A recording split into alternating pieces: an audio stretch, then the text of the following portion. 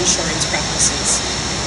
These organizations were among 36 that signed on to a very detailed letter sent to Commissioner Caride of the New Jersey Department of Banking and Insurance, or DOBI, on April 14th.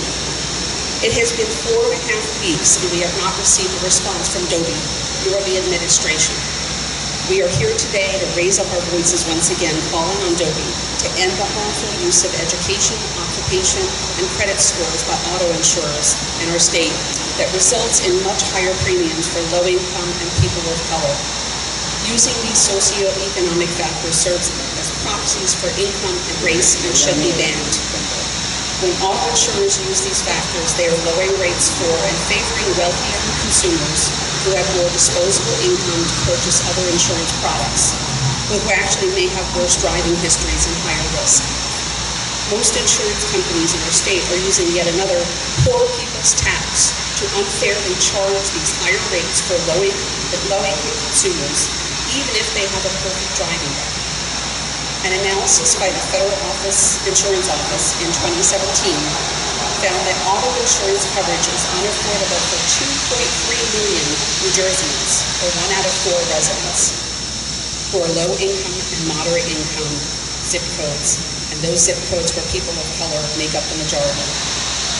However, this not only creates higher rates, as you will hear from other speakers today, it denies Black and Latino drivers the ability to climb the economic ladder towards mobility or even stability.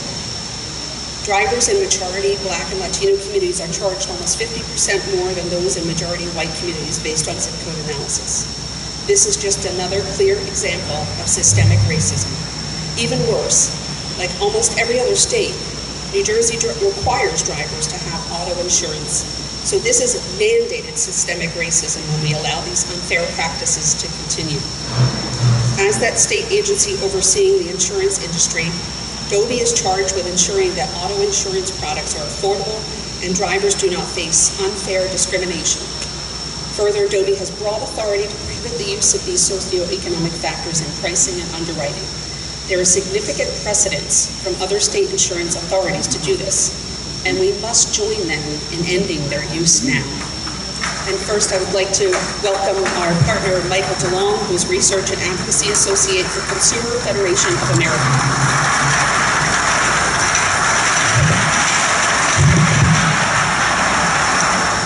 Thank you very much. Uh, I'm Michael DeLong, and I'm honored to be with you today to demand that the Department of Banking Insurance protect consumers and reduce auto insurance costs. And they can do this by banning the use of credit scores, education, and occupation in insurance.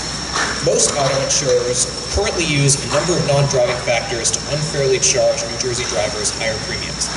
These factors include someone's credit information, their job, and their education level. Uh, these factors serve as rough proxies for income. They allow insurance companies to discriminate against poorer consumers in support of wealthier consumers who can buy additional insurance products.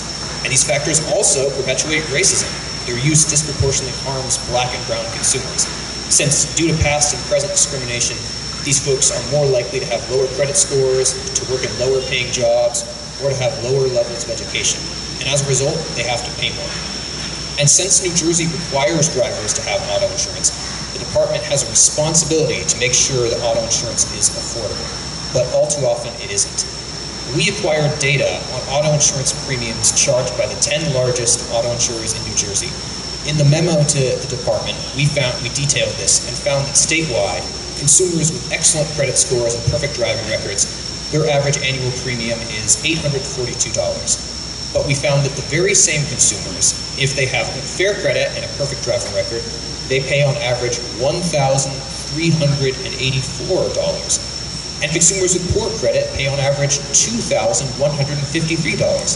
That is over $1,300 more, or 156% more. That is not fair, not fair at all. And that's just statewide. We found that in certain areas, like Newark, discrimination based on credit is even greater. In Newark, uh, drivers with excellent credit, they pay on average $1,238. If they have fair credit, they pay over $2,000. And if they have poor credit, they pay over $3,000 on average. We've also found that New Jersey drivers pay way different auto insurance premiums based on where they live. Consumers who live in majority white zip codes pay far more premiums than people living in majority black or Latino zip codes. And other investigations, including by Consumer Reports, found similar results when uh, auto insurers use someone's education and occupation. People who earn lower wages or less educated have to pay more. And by allowing this to happen, New Jersey is allowing companies to make auto insurance expensive and even unaffordable for a lot of consumers. Uh, they have to struggle to pay and they're forced to go choose between either paying unaffordable things or driving without insurance. And uh, most people do not even know that these factors are being used. And when they find out that someone is used, that auto insurers are using their credit score, or their education level, or their occupation, they're outraged and they want it banned. And a month ago, 36 organizations, consumer groups, community advocates, and civil rights leaders sent uh, this memo to the department urging them to ban credit scores, education, and occupation. New Jersey state law says rates can't be excessive, inadequate, or unfairly discriminatory, and the department has the power to enforce this. Several other states already banned these factors. California, Hawaii, and Massachusetts ban the use of credit scores. Other states ban education, and still others ban using someone's job. For far too long, low-income consumers have struggled to afford auto insurance. Your premium should be based on your driving record, not on your credit score, or your job, or whether you went to college. Department should ban the use of credit information, education, and occupation in auto insurance pricing, and they should ban it now. Thank you.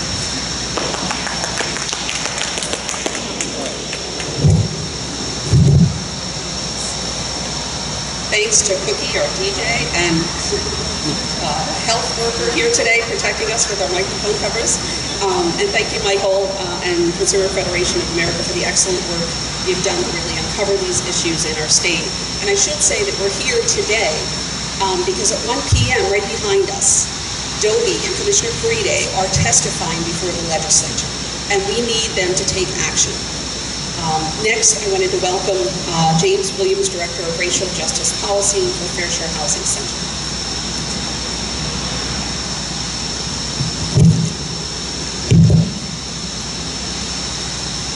So good morning. Morning. as a housing advocate, uh, we strongly work to ensure that any barriers that are in place that keep people out of housing opportunities are dismantled. Uh, criminal background check, credit, of lawful income, eviction violence. But today we're talking about kitchen table issues. Uh, when you sit down at your kitchen table, you start to look at your budget. You start to think about, do I wash clothes or do I dry clean? Do I pack a lunch or do I eat out? Today we're talking about your auto insurance.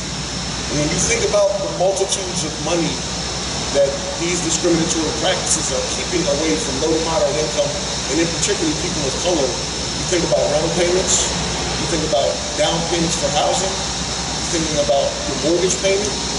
These are the kind of things, these are the kind of untold barriers that exist within this sphere.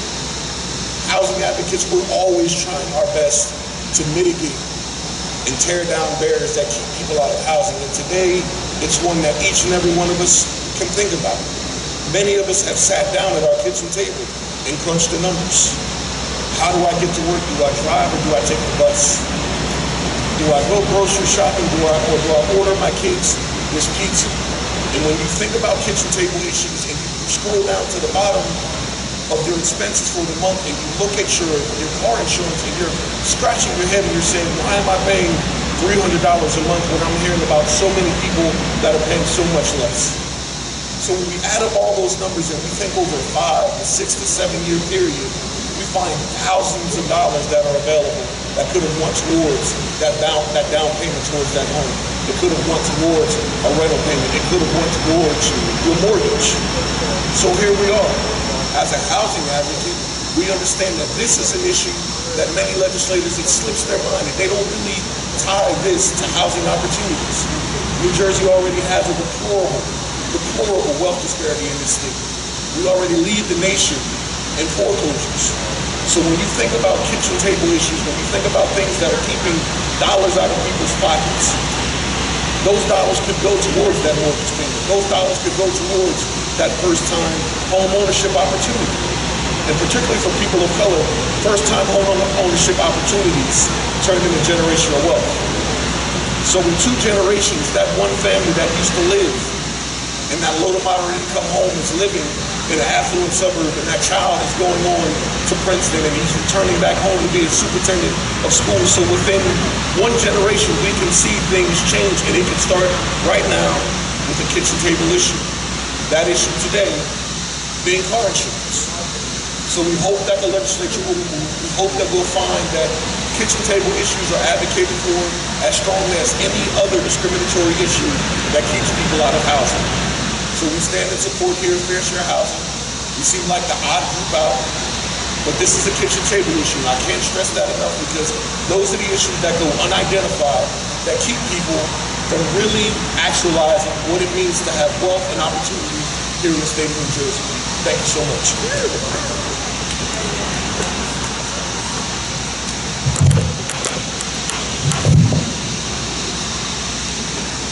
Thank you so much, James, uh, for really highlighting, um, you know, this is one of the, I think, most important racial equity issues in our state that people, most people are not aware of. Um, So next, I'm going to invite up Nicole Rodriguez, who is the Research Director for New Jersey Policy Perspective.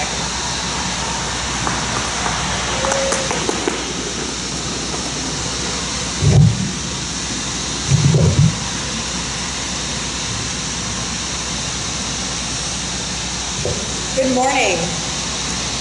I'm Nicole Rodriguez, Research Director for New Jersey Policy Perspective, or NJPP, a nonpartisan think tank that focuses on state level policies that promote racial, economic, and social justice.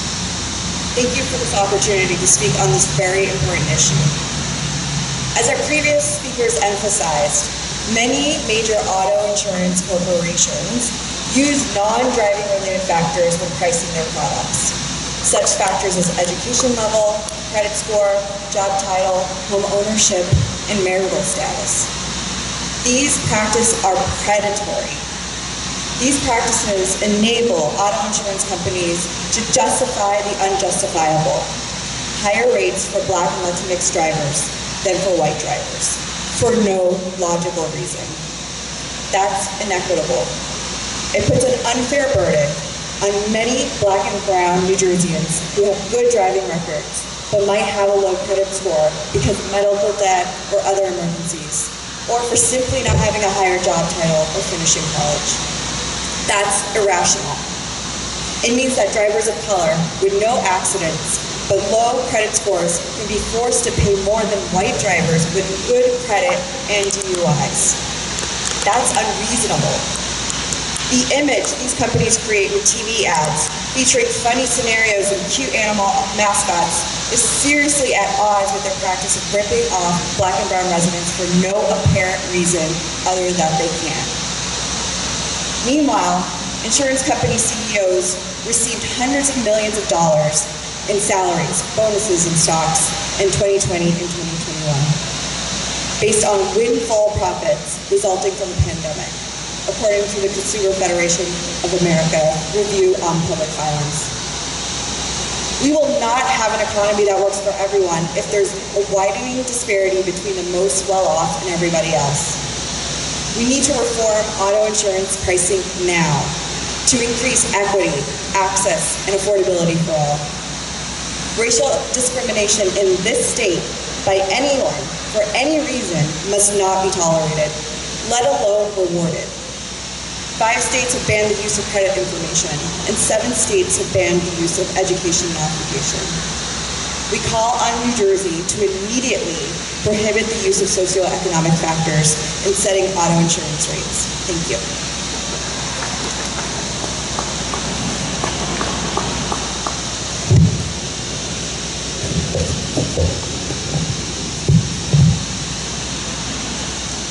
Thanks so much, Nicole. And the reason we are all here today is because of the people who don't necessarily know that they're being overcharged um, in this way um, by many, many dollars per year.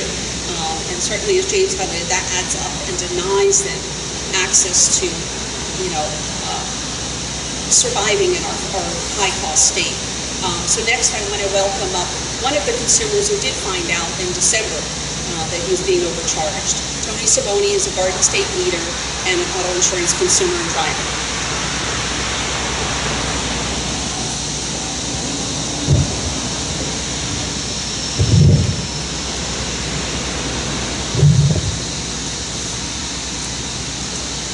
Good morning. Thank you for inviting me.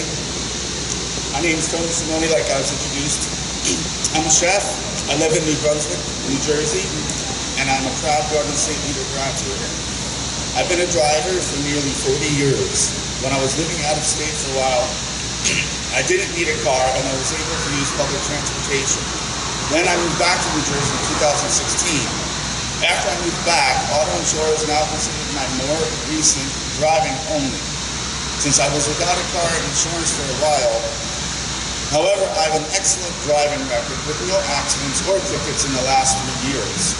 Last June, I purchased a new car and the auto insurance offered through Progressive was $347 per month, which equaled $4,164 annually.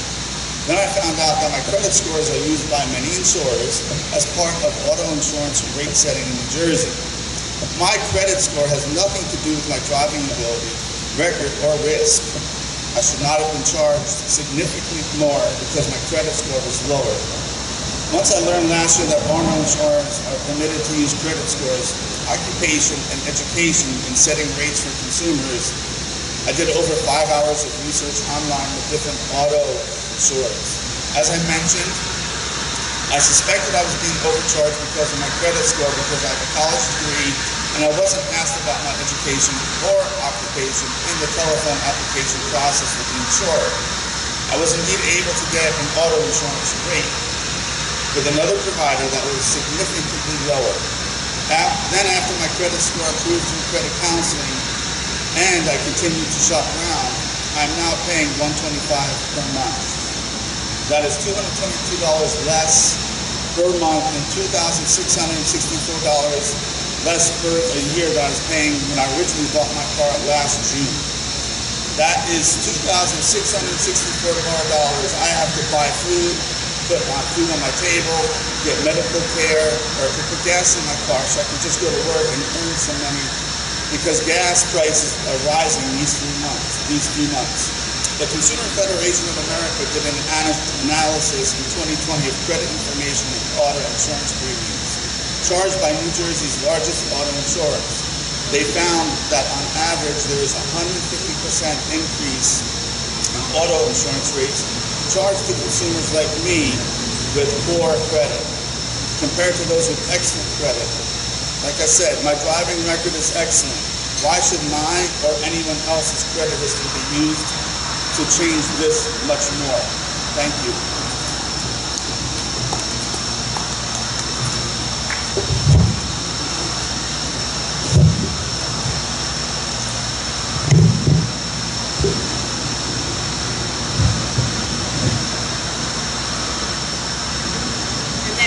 Um, happy to welcome Chuck Bell, who is uh, Programs Director for Advocacy at Consumer Reports, another national organization that has been an excellent partner, really highlighting um, the, the need to, to make these changes and, and why um, you know we're standing here today. Thank you.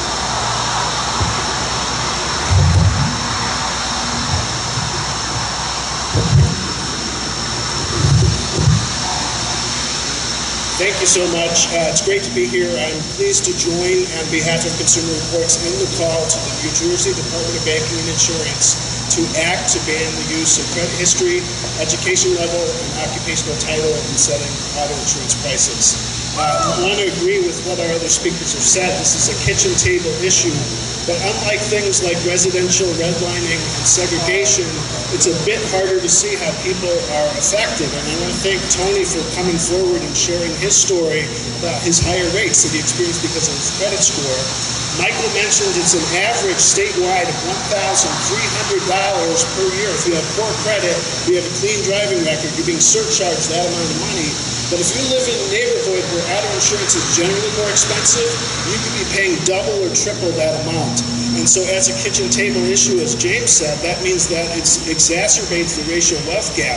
You're not going to be able to save for a down payment on a car or a home or a condominium or anything like that because every year you're losing $2,000, $3,000, $4,000 just because you have poor credit. And it's not fair uh, to use credit scores in that way. So we, um, at Consumer Reports, about a year ago, we did a study on the impact of just education and occupation on the, your rates. We took a hypothetical driver in Hoboken uh, named Sarah Lynn who drove a Toyota, and, and uh, she commuted to work. And if she had uh, just a high school, less than high school education, and worked as a cashier, she would pay $455 more per year than if she had an MBA and had an executive level job. So we are charging during a public health crisis higher rates to people who are essential workers. And that is just grossly unfair. We're charging higher rates to residents of color all throughout New Jersey uh, just because they may not have a lot of income and wealth, because they have a lower credit score. That's not fair. And so uh, the Department of Banking and Insurance has the power to fix this. Across the river in New York State in 2018, Insurance Commissioner Maria Vullo banned the use of education and occupational title for setting rates. So in New York, we no longer deal with that part of it. We're still fighting to get rid of credit history, which kind of correlates with those other things. But education and job level, it's not fair to charge people more money for that. So we call on the Department of Banking and Insurance to respond to our coalition from a letter from over 30 organizations. The time, you don't have to think about this. Let's get it done. The insurance companies are not going to end it voluntarily. They're not picking up the phone. They're just running a bunch of goofy ads, as Renee said. Uh, we need them to take this seriously.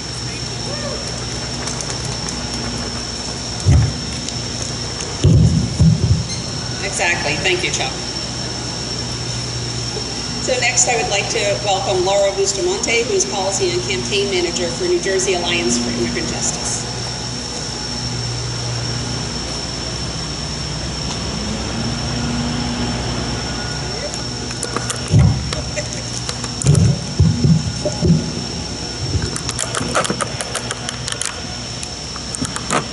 Morning, everybody. My name is Laura Bustamante, and I'm the Policy and Campaigns Manager with the New Jersey Alliance for Immigrant Justice. We are the largest state immigration coalition fighting for policies to empower and protect immigrants.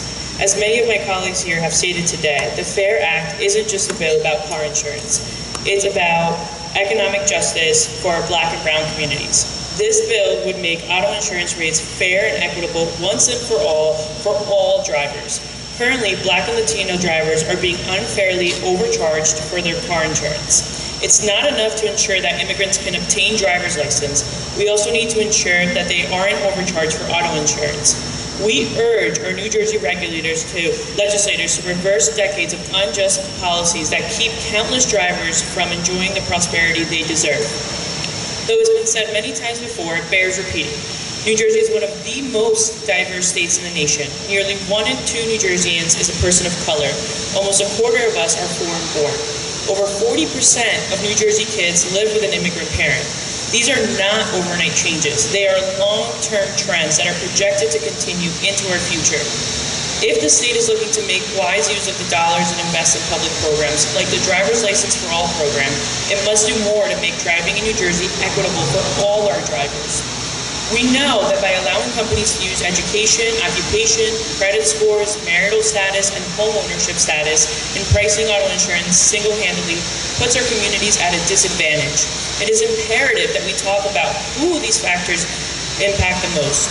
Drivers, drivers living in predominantly black and Latino zip codes in New Jersey pay 139% of the statewide premium average of $1,459 for a 35-year-old driver with a clean driving record and other standardized characteristics. These factors are a double-edged sword for our communities. Historically, haven't been able to obtain credit scores or have a lower income compared to white drivers. It is unfair to charge a janitor with no credit who just obtained his license under the driver's license for all program with a perfect driving record more for auto insurance than a doctor with a poor driving record. Under the current system, they have to pay more for auto insurance while earning less. The state's existing and low-cost programs are not having its intended effect, simply because the state isn't doing enough to ensure economic justice across the state for all of its drivers. This is why we are calling on DOBI to eliminate these racist and unjust factors to auto insurance rates that negatively impact our communities every day and are not reflective of the diversity of our state and our values, which is to be a more fair and welcoming state.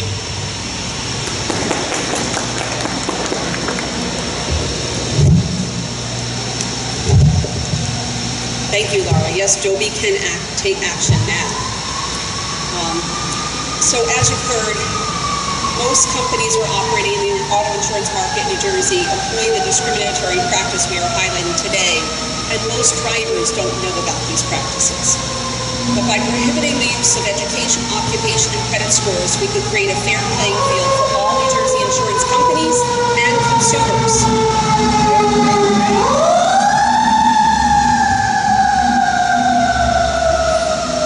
As I said earlier, this is one of the most unknown but most important racial equity issues in our state.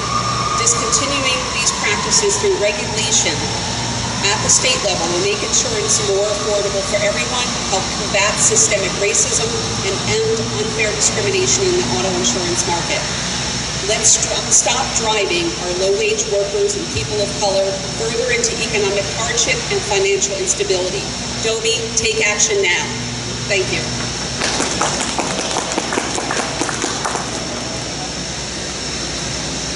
Uh, Okay. Do we have any questions? Okay, thank you, everybody. Thanks, great job.